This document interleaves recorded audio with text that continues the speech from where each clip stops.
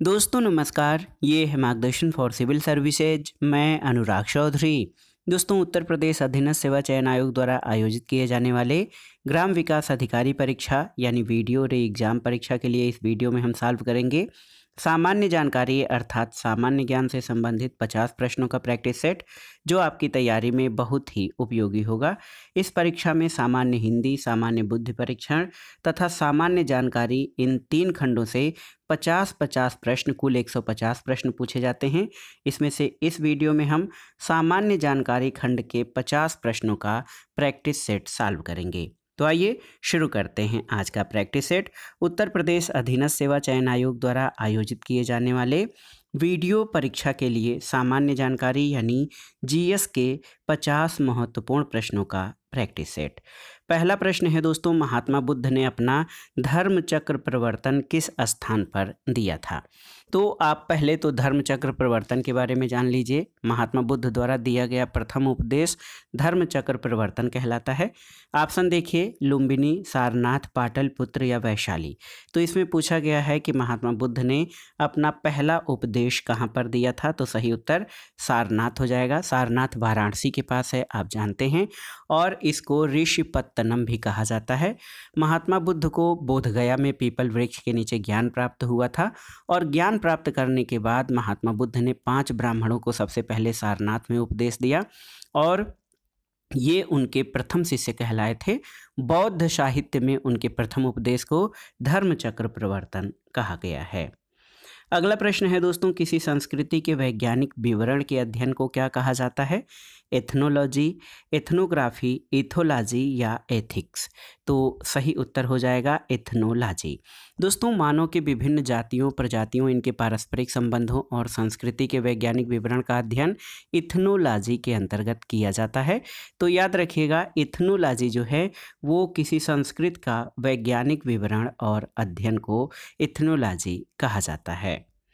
अगला प्रश्न है दोस्तों, मुगल प्रशासन में मदद ए माश किसको इंगित करता है? टोल टैक्स विद्वानों को दी जाने वाली राजस्व मुक्त अनुदत्त भूमि, सैन्य अधिकारियों को दी जाने वाली पेंशन या बुआई कर तो सही उत्तर ऑप्शन बी हो जाएगा।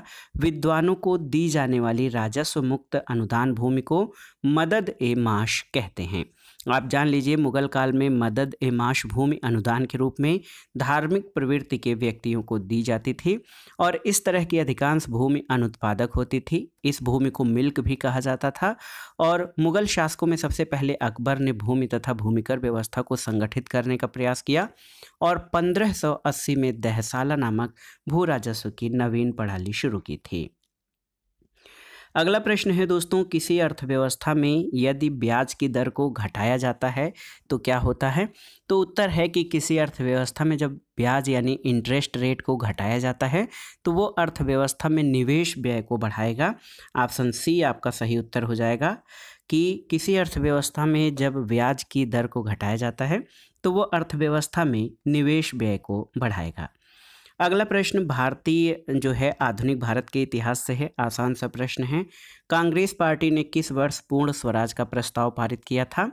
1930, 1929, 1917 या 1911 में? तो सही उत्तर उन्नीस में।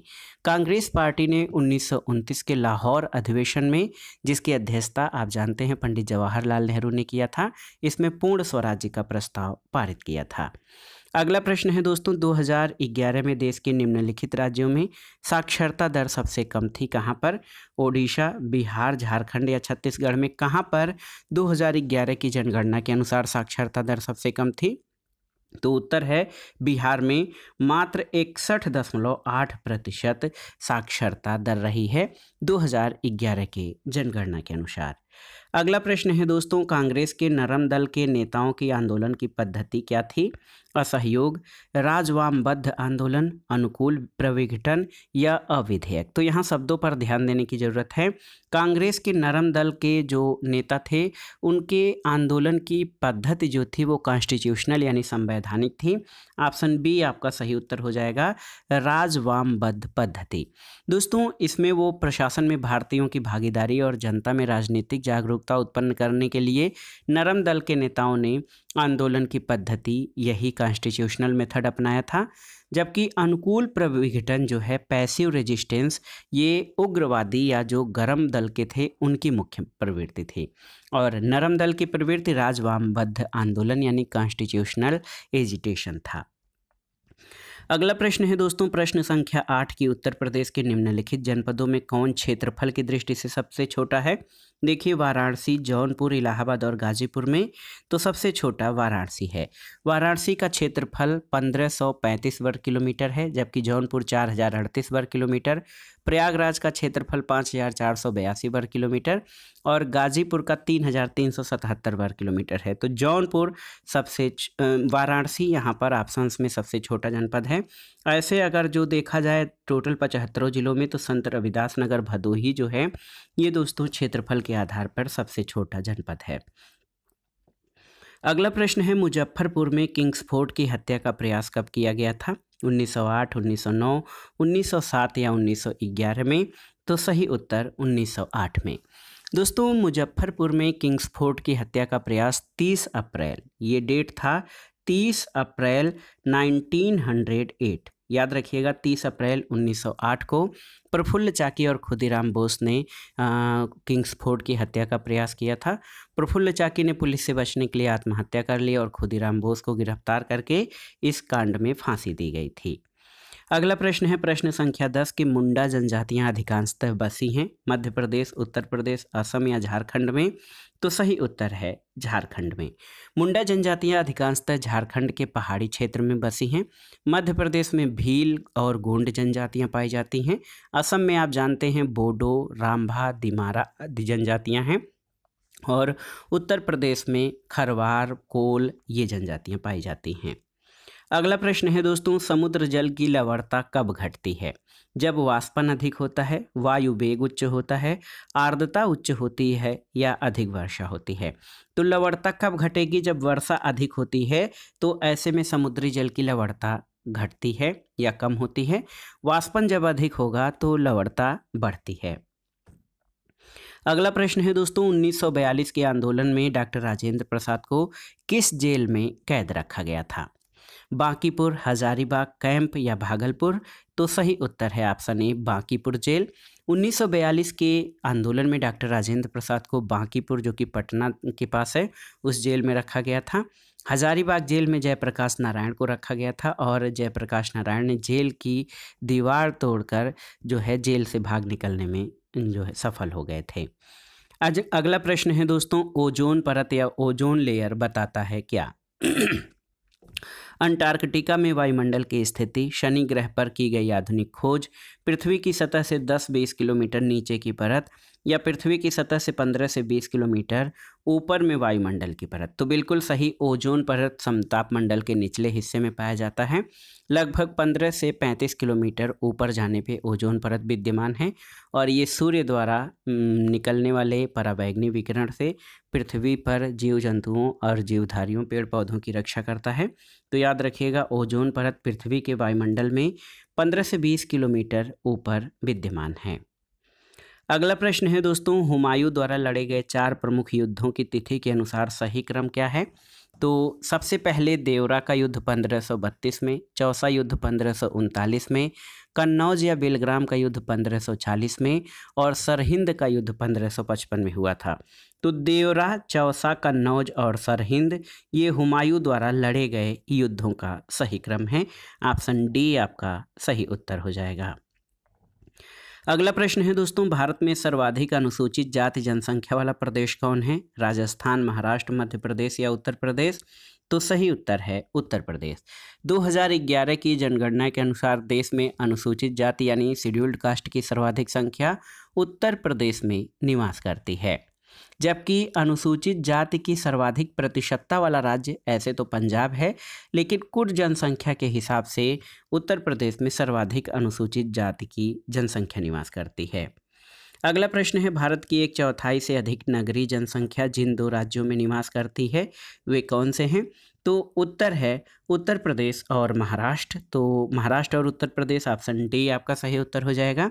दोस्तों 2011 के आंकड़ों के अनुसार जो है देश की कुल नगरीय जनसंख्या सैंतीस करोड़ इकहत्तर लाख छः हज़ार एक सौ पच्चीस है, जिसमें से उत्तर प्रदेश में चार करोड़ चौवालीस लाख और महाराष्ट्र में पाँच करोड़ आठ लाख। यानी जो है एक चौथाई से अधिक नगरीय जनसंख्या केवल दो राज्यों, महाराष्ट्र और उत्तर प्रदेश में निवास करती है। अगला प्रश्न है दोस्तों, राजनैतिक सुधारों को लेकर विरोध करने वाले पहले भारतीय कौन थे, आपको बताना है। दादा भाई नवरोजी सुरेंद्र नाथ राजा राम मोहन राय या बाल गंगाधर तिलक? तो सही उत्तर ऑप्शन डी, बाल गंगाधर तिलक हो जाएँगे। आप जान लीजिए दोस्तों कि राजनैतिक सुधारों को लेकर विरोध करने वाले पहले भारतीय बाल गंगाधर तिलक थे। अगला प्रश्न है दोस्तों, सर्वा, संसार में सर्वाधिक नगरीकृत देश कौन सा है? जापान, जर्मनी, इजराइल या सिंगापुर? तो सही उत्तर है सिंगापुर। दोस्तों, आप जान लीजिए कि विश्व की बावन दशमलव एक प्रतिशत जनसंख्या नगरीय क्षेत्रों में निवास करती है। सिंगापुर, मोनाको, बरमूडा, नौरू और हांगकांग की संपूर्ण जनसंख्या नगरों में निवास करती है और इन देशों में 100 परसेंट कहा जाए नगरीकरण है। तो ऑप्शंस में से सिंगापुर जो है संसार का सर्वाधिक नगरीकृत देश हो जाएगा। अगला प्रश्न है दोस्तों, भील जनजाति कहाँ पर पाई जाती है? असम, झारखंड, पश्चिम बंगाल या महाराष्ट्र? तो सही उत्तर ऑप्शन डी, महाराष्ट्र में। भील जनजात मुख्य रूप से मध्य प्रदेश, महाराष्ट्र, राजस्थान और गुजरात में पाई जाती है। तो याद रखिएगा, भील जनजाति महाराष्ट्र में पाई जाती है। अगला है दोस्तों, भारतीय राजव्यवस्था से कि एक उच्च न्यायालय का न्यायाधीश अपना त्यागपत्र किसे संबोधित करता है? तो ऑप्शन बताने की आवश्यकता नहीं है। चाहे उच्च न्यायालय का हो या सर्वोच्च न्यायालय का न्यायाधीश उसको त्यागपत्र देना होता है तो वो राष्ट्रपति को देगा। आप जान लीजिए कि उच्च न्यायालय का जो न्यायाधीश होता है, वो राष्ट्रपति को संबोधित अपने हस्ताक्षर सहित लेख द्वारा अपना पद त्याग कर सकता है। भारतीय संविधान में कितनी भाषाओं को मान्यता प्राप्त है? बारह, तेरह, चौदह या बाईस? तो सही उत्तर है बाईस भाषाएँ। आप जान लीजिए दोस्तों, भारतीय संविधान में जो है, आठवीं अनुसूची में संविधान द्वारा मान्यता प्राप्त बाईस भाषाओं को जो है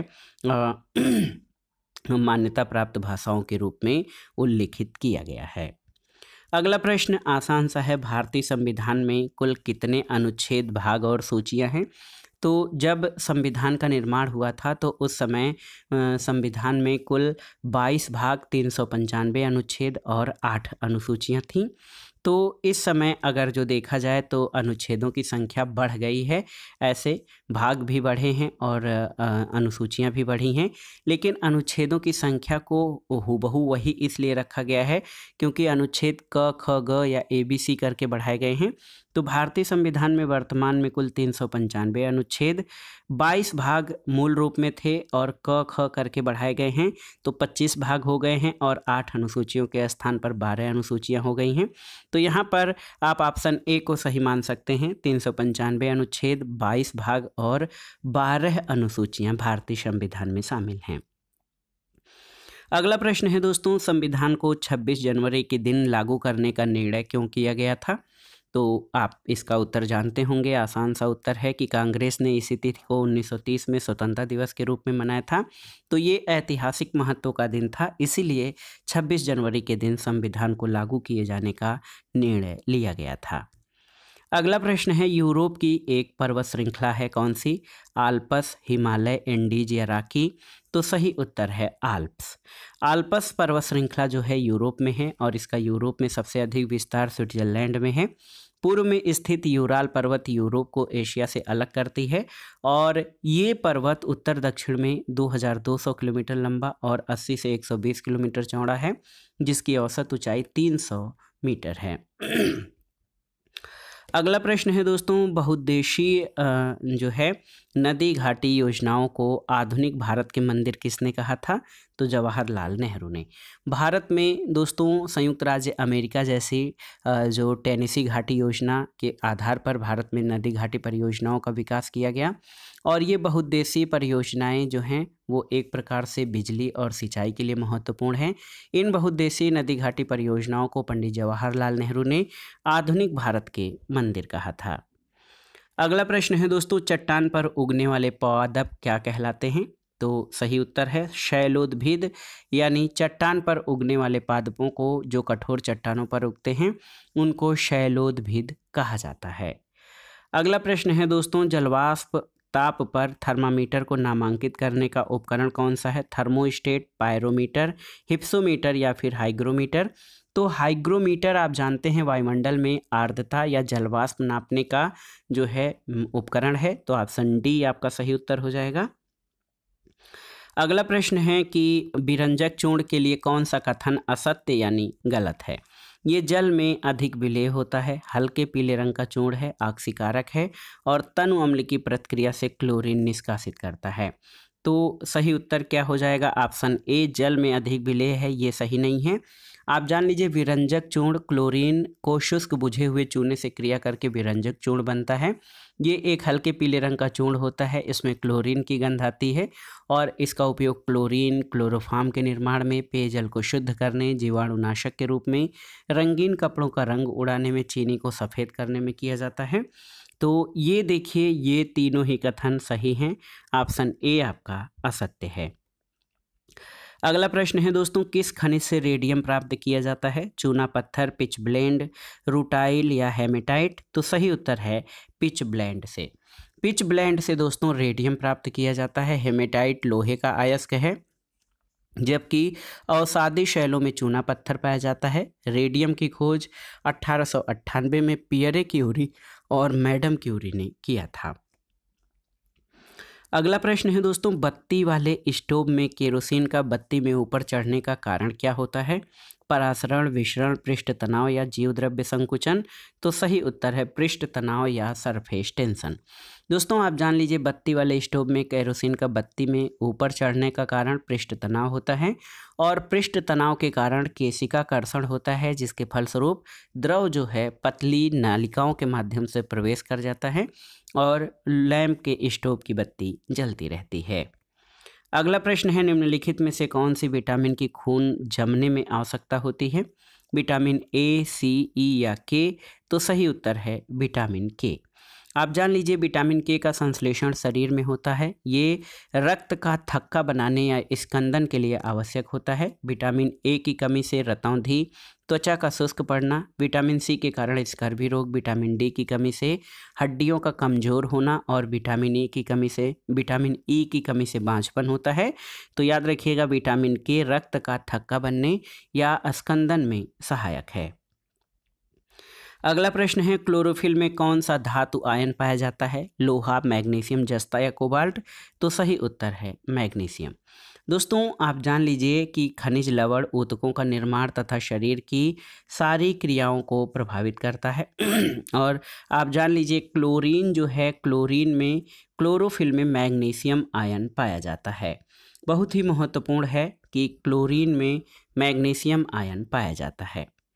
अगला प्रश्न है, आम की बीज रहित प्रजाति कौन सी है? रत्ना बॉम्बे ग्रीन, कृष्णा भोग या सिंधु? तो सही उत्तर सिंधु जो है, वो आम की बीज रहित प्रजाति है। अगला प्रश्न है दोस्तों, निम्नलिखित में से कौन सा मनुष्य में अवशेषी या वेस्टिजियल अंग नहीं है? निकटेटिंग पर्दा, कड़पाल की कड़ाभिमान स्पेसियाँ, सामने वाले चपटे दांत या वर्मी फार्म अपेंडिक्स। तो सही उत्तर है सामने वाले चपटे दांत या कृंतक दांत जो हैं वो अवशेषी अंग नहीं हैं। और शरीर के भीतर कई ऐसे अंग पाए जाते हैं जो एक दूसरे से जुड़े हैं या एक दूसरे पर निर्भर हैं और साथ साथ मिलकर सामान्य या सामूहिक रूप से कार्य करते हैं। समान क्रिया वाले सहयोगी अंगों के इस समूह को तंत्र कहा जाता है। मनुष्य के प्रमुख अवशेषी अंगों में निकटीटेटिंग पर्दा, कड़पाल की कड़ा, मांसपेशियाँ, वर्मी फार्म अपेंडिक्स ग्रंथतंत्र प्रगंडिका और उर्वास्थी हैं, जबकि सामने वाले चटके, चपटे दांत ये अवशेषी अंग नहीं हैं। अगला प्रश्न है दोस्तों, उत्तर प्रदेश में रानी लक्ष्मीबाई बाँध परियोजना किस नदी पर निर्मित है? तो उत्तर है बेतवा नदी पर, ऑप्शन बी आपका सही उत्तर है। रानी लक्ष्मीबाई बाँध परियोजना बेतवा नदी पर है, जो मध्य प्रदेश और उत्तर प्रदेश सरकार की संयुक्त परियोजना है। अगला प्रश्न है दोस्तों, पीत क्रांति या एलो रिवोल्यूशन का संबंध किस उत्पादन से है? उत्तर है तिलहन उत्पादन से। खाद्यान्न उत्पादन का संबंध, हरित क्रांति, मत्स्य उत्पादन, नीली क्रांति, दुग्ध उत्पादन व्हाइट या श्वेत क्रांति, जबकि पीली क्रांति का संबंध तिलहन उत्पादन से है। अगला प्रश्न है, निम्नलिखित में से कौन सा एक बाल्टिक राष्ट्र नहीं है? लाटविया, स्लोवाकिया, लिथुआनिया और एस्टोनिया। तो सही उत्तर, स्लोवाकिया। दोस्तों, याद रखिएगा लाटविया, लिथुआनिया और एस्टोनिया। लाटविया, लिथुआनिया और इस्टोनिया को बाल्टिक कंट्रीज़ कहा जाता है। ये तीनों राष्ट्र बाल्टिक सागर के पूर्व में स्थित हैं और ये मध्यम खारे पानी का सबसे बड़ा जो है प्राय सागर माना जाता है, जबकि स्लोवाकिया बाल्टिक राष्ट्र नहीं है, बल्कि यूरोप महाद्वीप का देश है। और स्लोवाकिया की राजधानी ब्राटिस्लावा है। तो याद रखिएगा, लाटविया, लिथुआनिया और इस्टोनिया, इन तीनों को जो है बाल्टिक कंट्रीज़ कहा जाता है। अगला प्रश्न है किस प्रकार के कंप्यूटरों का सर्वाधिक प्रयोग किया जाता है? Super computer, mini computer, mainframe या माइक्रो कंप्यूटर? तो सही उत्तर है माइक्रो कंप्यूटर माइक्रो कंप्यूटर छोटे आकार के और कम कार्य क्षमता के होते हैं। इन कंप्यूटरों में केवल एक प्रोसेसर या सीपीयू लगाया जाता है। इन कंप्यूटरों पर एक समय में एक ही व्यक्ति कार्य कर सकता है और इस प्रकार के कंप्यूटरों का प्रयोग सबसे अधिक किया जाता है। अगला प्रश्न है, निम्नलिखित में से कौन शक्ति और खाद दोनों दे सकता है? नाभिकी संयंत्र तापी संयंत्र, बायोगैस संयंत्र हाइड्रो इलेक्ट्रिक संयंत्र तो सही उत्तर है बायोगैस संयंत्र। दोस्तों, ऑक्सीजन की अनुपस्थिति में किसी कार्बनिक पदार्थ के जैविक विखंडन से उत्पन्न गैस बायोगैस कहलाती है। बायोगैस में मीथेन और कार्बन डाइऑक्साइड होते हैं और बायोगैस की समाप्ति के बाद संयंत्र में जो अवशिष्ट पदार्थ बचता है, उसमें नाइट्रोजन और फास्फोरस जैसे कई यौगिक होते हैं। तो इसलिए अवशिष्ट पदार्थों का उपयोग उर्वरक के रूप में किया जाता है। तो याद रखिएगा, बायोगैस संयंत्र शक्ति और खाद दोनों ही दे सकता है। अगला प्रश्न है, किसी निश्चित क्षेत्र में प्राणियों की संख्या की सीमा जिसे पर्यावरण समर्थन कर सकता है, क्या कहलाती है? ऑप्शन देखिए, जनसंख्या, वहन क्षमता, संख्या या जैव द्रव्यमान का पिरामिड या उपरोक्त में से कोई नहीं तो सही उत्तर है, वहन क्षमता। किसी निश्चित क्षेत्र में प्राणियों की संख्या की सीमा जिसे पर्यावरण समर्थन कर सकता है, वहन क्षमता कहलाती है, जबकि जनसंख्या किसी इकाई क्षेत्र में रहने वाले लोगों की संख्या है और जैव द्रव्यमान किसी क्षेत्र विशेष में उपस्थित जीवों की मात्रा होती है। अगला प्रश्न है, निम्नलिखित में से कौन सी गैस ग्लोबल वार्मिंग के लिए सबसे ज़्यादा जिम्मेदार है? नाइट्रोजन, मीथेन, कार्बन डाइऑक्साइड या फिर कार्बन मोनोऑक्साइड? तो उत्तर है कार्बन डाइऑक्साइड यानी सी ओ टू। दोस्तों, carbon dioxide gas global warming के लिए सबसे ज़्यादा जिम्मेदार है, क्योंकि कार्बन डाइऑक्साइड, नाइट्रोजन ऑक्साइड, जलवाष्प, मीथेन और जो ओजोन गैस है, ये ग्लोबल वार्मिंग के लिए सबसे जिम्मेदार है। लेकिन सबसे अधिक हानिकारक global warming gas carbon dioxide है। अगला प्रश्न है, निचली गंगा नहर का उद्गम स्थल कहाँ पर है? बरेली, हरिद्वार, कानपुर या नरौरा? तो सही उत्तर है, नरौरा। नरौरा बुलंदशहर जनपद में है और यहाँ से निचली गंगा नहर निकली है। इस नहर से लाभान्वित होने वाले ज़िलों में बुलंदशहर अलीगढ़, एटा, मैनपुरी, फिरोजाबाद, कानपुर, फर्रुखाबाद, फतेहपुर और प्रयागराज आदि हैं।